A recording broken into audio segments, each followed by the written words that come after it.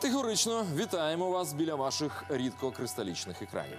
Знаєте, ми зараз з вами живемо у дивні часи, коли свідомість практично кожної людини щодня атакується різноманітними інформаційними потоками, змістовне наповнення яких виводить з рівноваги навіть тих людей, які раніше впевнено стояли на міцних ідеологічних та світоглядних догматах, непорушність котрих не викликала раніше жодних сумнівів. Московський телеканал Дождь цими днями опинився в центрі скандалу після того, як вирішив до 70-річного ювілею зняття блокади Ленінграду провести опитування серед своїх глядачів на тему, чи варто було Сталіну таки здати Ленінград німцям, врятувавши тим самим життя сотням тисяч мешканців міста. Сама постановка питання викликала у російських провладних засобах масової інформації цілий шквал негативу. Прокуратура Російської Федерації шукає на дожді ознаки екстремізму, а сам канал відключають масово у кабельних мережах Росії. Чому такий ажіотаж навколо цього питання? І що це за місто таке? Цей сакральний Санкт-Петербург, де під час Другої світової війни виморили голодом більше мільйона людей. Ми починаємо. З травня місяця 2013 року у Російській Федерації почалося активне публічне обговорення можливого ухвалення закону про карну відповідальність за так звану реабілітацію нацизму і за спроби перегляду ітогів Второї мірової війни. Закон передбачає як грошові штрафи, так і позбавлення волі на різні терміни. 16 січня 2014 року представники більшості у Верховній Раді України проголосували за прийняття так званих 12 диктаторських законів, що значно обмежили свободи особистості. Один з них передбачав внесення змін до карного кодексу України стосовно відповідальності за заперечення або виправдання злочинів фашизму із відповідним покаранням до кількох років позбавлення волі. Згодом їх нібито скасували, але ситуація залишається незрозумілою. Знаєте, нас дуже дивує така синхронність дій і думок е, серед українських і російських законотворців.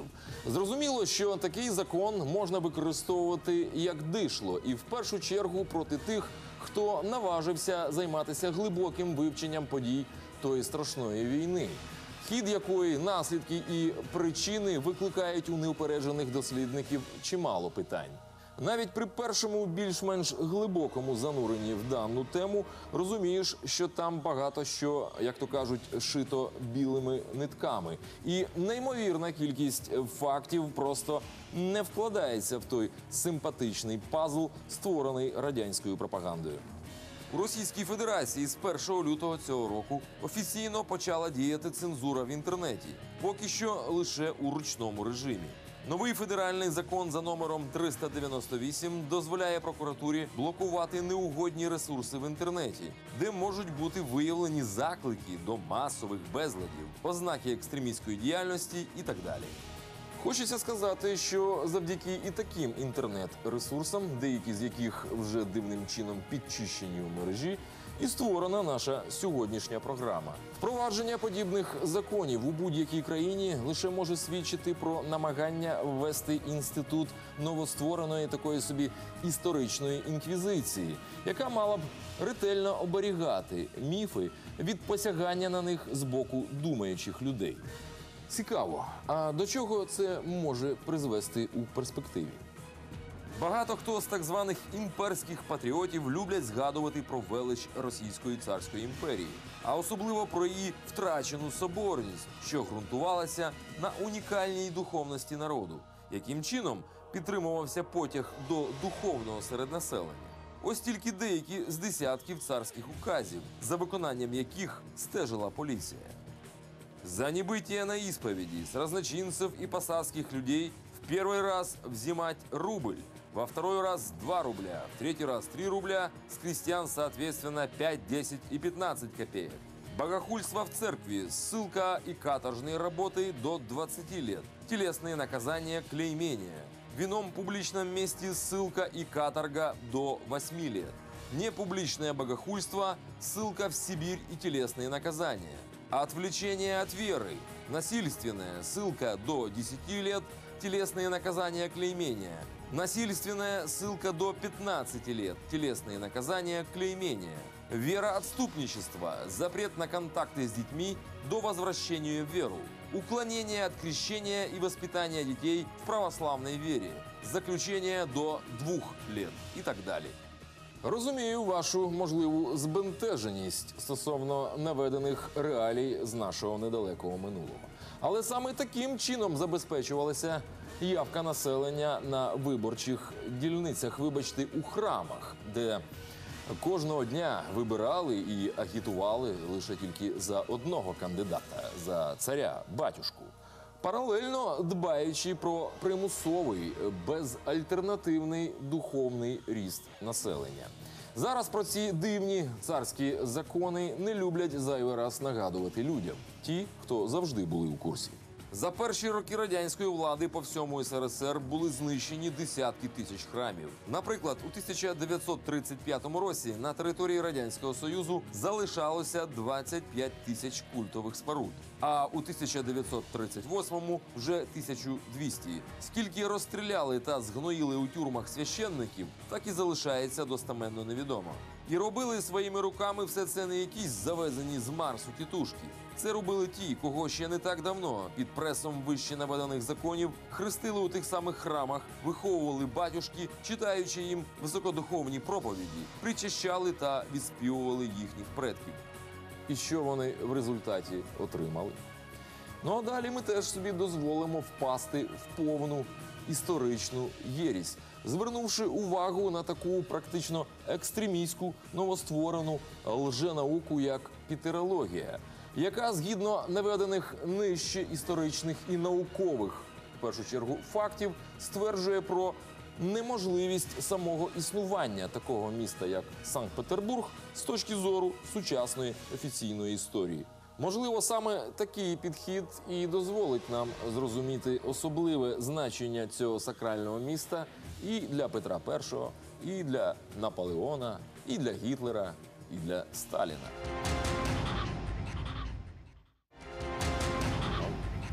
Ну а далі ми теж собі дозволимо впасти в повну історичну єрість, звернувши увагу на таку практично екстремістську новостворену лженауку, як пітерологія, яка згідно наведених нижче історичних і наукових, першу чергу, фактів, стверджує про неможливість самого існування такого міста, як Санкт-Петербург, з точки зору сучасної офіційної історії.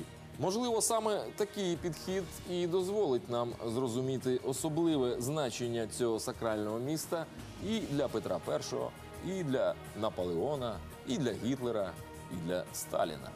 Ось карта-план Санкт-Петербурга через 50 років після його заснування на болоті. Вся історична частина міста вже відбудована. Сотні кілометрів набережних вже вкладені гранітом. Його можна спостерігати в усій красі сьогодні. Хто, де і як брав граніт та виготовляв фасонні стандартизовані вироби з нього у промислових масштабах зі стаханівськими темпами залишається загадкою. І дозвольте нагадати, що все це було збудовано не висококваліфікованими фахівцями, а безграмотними холопами. Саме так заявляє сучасна офіційна історія. То же саме необразоване мужичьо, вибачте вже за термінологію, ще й за кілька років набудувало навколо Санкт-Петербурга чимало гранітних гігантських бойових морських фортець. Знаменита Петропавлівська фортеця, зведення якої закінчено 1785 року. Тоді ж її стіни були вимощені гранітом.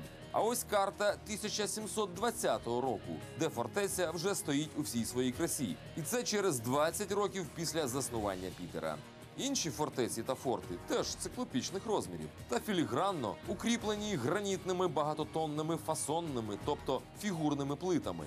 Варто зазначити, всі ці гігантські військові споруди жодного разу таки не взяли участі у реальних боях внаслідок свого невдалого розташування. Сьогодні з нашими технологіями за таке будівництво, напевно, ніхто і не взявся. А тоді мужичкам це було як два пальці між дверима затиснути. Що ще дивує, так це те, що в архівах до сьогоднішнього дня не зберіглося ніякої проектної документації стосовно цих циклопічних споруд, тільки художні замальовочки від митців того часу. Петрівський док у Кронштадті під Петербургом збудовано у 1752 році. Історія говорить, що все це результат титанічної праці сотень тисяч кріпаків, зігнаних зі всієї імперії. І все вони теж будували на око, без проєктів та відповідних розрахунків. Дивує також те, що гранітні форти та набережні присутні тільки в районі Санкт-Петербургу, тоді як форти, наприклад, Калінінграду з цегли, так само як і всі інші. Куди ж поділися знання та вміння? Аналогічною є ситуація із таким справжнім дивом людського генія, як Ісаківський собор у Санкт-Петербурзі. Він просто не має права існувати з точки зору здорового інженерного глузду, не зашореного різними міфами, у які наказано свято вірувати різними мужчинами з дуже суровими виразами на обличчях. У нижній колоні собору встановлено 48 монолітних колон з граніту вагою в 114 тонн кожна. Всі однакової ідеальної форми та відшліфовані. У верхній колонаді на висоті 14-поверхового будинку красуються ще кілька десятків гранітних колон вагою по 64 тонни кожна. А це зашліфовані заплати на колонах нижнього ярусу. Сьогодні таке зробити технологічно дуже складно, не говорячи вже про початок 19 століття. Вам не здається дивною схожість Ісакія і американського капітолія? Правда, останній будувався з цегли без використання граніту.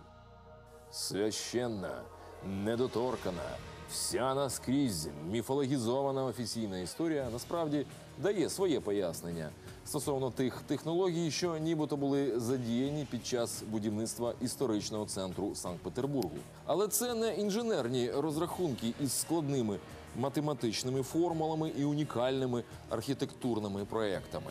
Зараз така інформація мала б займати у архівах цілі поверхи. Проте до нас дійшли лише тільки ось такі шедеври тодішніх майстрів будівельної справи. Враховуючи вагу колон Ісаківського собору, без посмішки дивитися на ці гравюри 19 століття просто важко. На цих дерев'яних балках та на пінькових канатах вони нібито тягали 100-тонні блоки, що сьогодні під силу лише кільком механізмам у світі.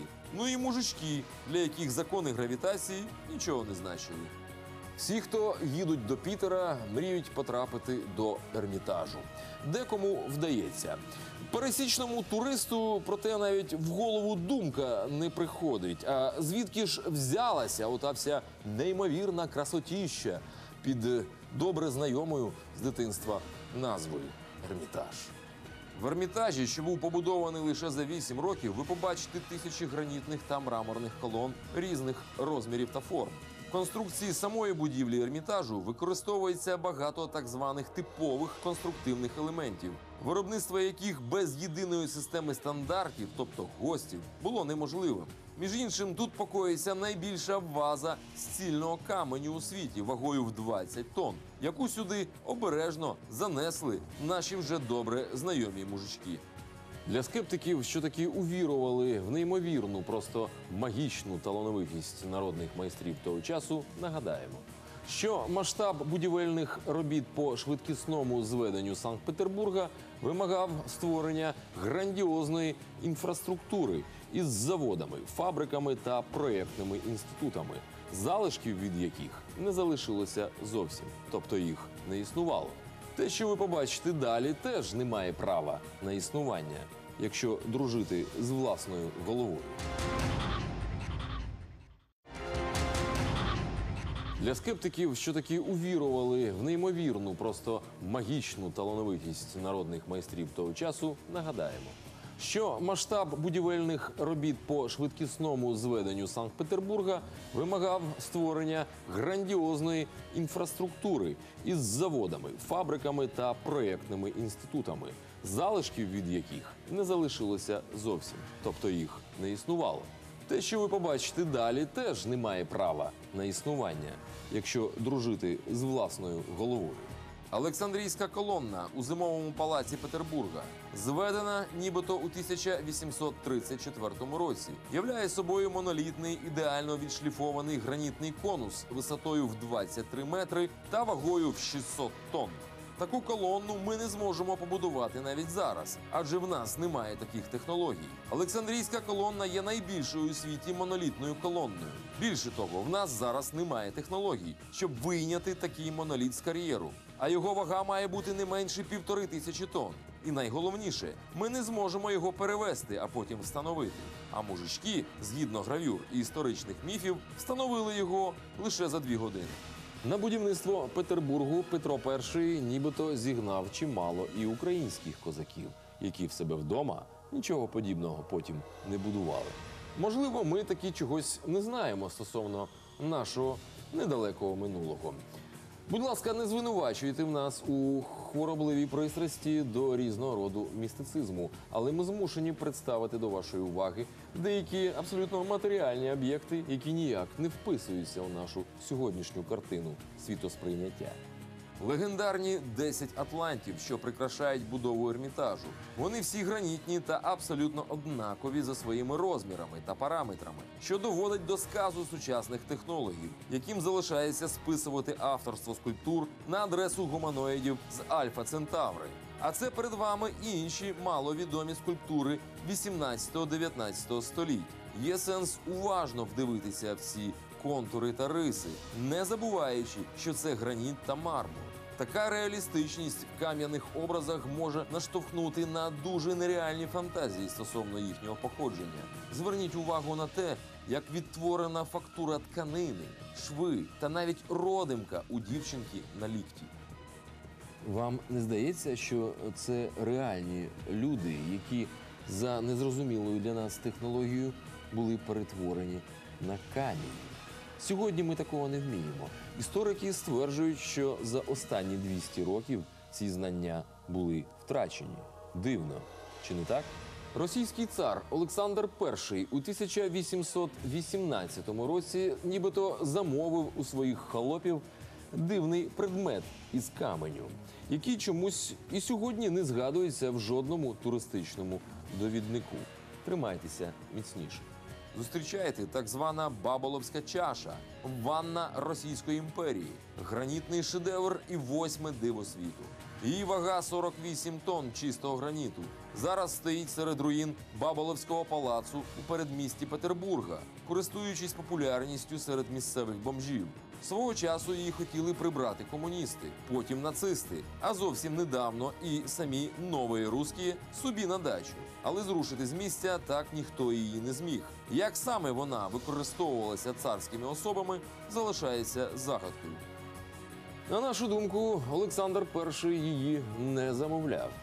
Швидше за все, цей древній артефакт було знайдено, а потім вже навколо нього побудували палац, аби привласнити собі це диво природи. Зрозуміло, що настав час дати хоча б якусь відповідь на запитання. А хто ж тоді взагалі будував всі ці неймовірні споруди відомого нам Санкт-Петербургу? Незалежні аналітики сходяться на єретичній думці, що місто було древнім центром маловідомої для нас розвинутої цивілізації, які внаслідок глобального катаклізму незрозумілого походження тривалий час залишалися в закинутому стані. А Петро І його тільки знайшов, розчистив і з подальшою косметичною реставрацією знайдених древніх споруд. Перед вами гравюри італійського художника Джованні Піранезі, що жив у середині 18 століття. Вони свідчать про потужний та руйнівний потоп у середні віки на території сучасної Італії. Наслідки цієї достатньо недавньої катастрофи, що знову відкинула назад людство у культурному і технологічному розвитку, можна побачити по всій планеті. Було б тільки бажання.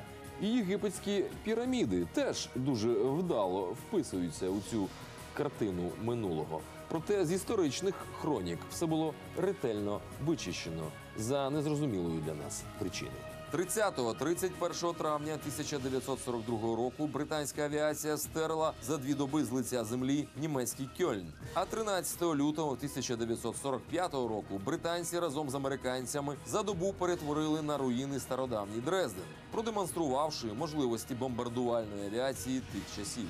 З вересня 1941 по січень 1944 року, тобто три роки, місто Ленінград знаходилось під блокадою німецьких, іспанських, фінських військ спільно із добровольцями з Північної Африки та за потужної підтримки військово-морських сил Італії.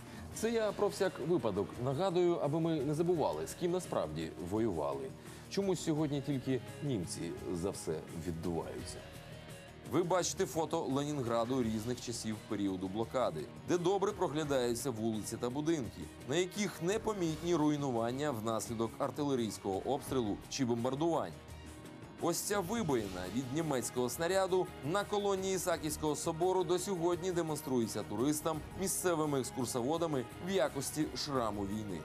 Більше того, в офіційно оприлюднених військових документах Третього рейху можна з легкістю знайти накази Генштабу Німеччини, у яких суворо заборонялося військам фашистської коаліції заходити до міста Ленінград, хоча така можливість у них була. Під час облоги Москви німці у біноклі розглядали її історичний центр. А значить, використовуючи можливості далекобійної артилерії, могли перетворити ненависний для них Кремль на руїни. Проте цього чомусь теж не сталося. За якоїсь незрозумілої причини вирішальна битва тої війни відбулася не біля Москви чи Санкт-Петербургу, а на території звичайного обласного міста Сталінград, що ніяк не претендував на звання культурного, духовного чи політичного центру СРСР. Між блокадою Ленінграда і Сталінградською блокадою є одна спільна риса. В обох випадках радянське командування принесло в жертву населення цих міст, не організувавши його евакуації. У Сталінграді загинуло практично все цивільне населення. Цифри втрат озвучуються різні, і всі вони жахливі. У Ленінграді вимерло від голоду за різними оцінками близько півтора мільйона осіб. Більше на планеті не існує населених пунктів із такою реальною функцією жертовника на фоні неймовірної і неможливої з точки зору сучасного інженера архітектурою. Ще з прадавніх часів завданням будь-якої армії світу, що існує за гроші платників податків, було в першу чергу захист та збереження цивільного населення, а не суспільного ладу. Інакше народу тримати дармоїдів у погонах в себе на шиї немає ніякого сенсу. Якщо суспільний лад разом із конкретним лідером виявляється дорожчими за життя мільйонів платників податків, то це антисуспільний лад та антилідер. Сказали би більше, але можемо порушити закони і писані, і не писані. В кожного є свій орган мислення, тому давайте думати. До наступного конекту.